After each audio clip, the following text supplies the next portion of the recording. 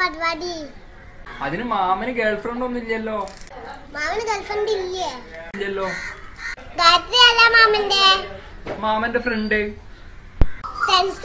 മാമന്റെ? മാമന്റെ ഫ്രണ്ട് അപ്പൊ അനുഷ്മ ആരാണ് മാമന്റെ? മാമന്റെ ഫ്രണ്ട് മൂന്ന് മാമന്റെ ഫ്രണ്ട് അല്ലേ? ആ. ഗേളാണ് ആ ഗേളാണ്. മാമന്റെ ഗേൾഫ്രണ്ട് അല്ലേ ആ. ഞാൻ പടച്ചോനെ ഇവളെ എങ്ങനാ ഞാൻ പറഞ്ഞു മനസ്സിലാക്കുക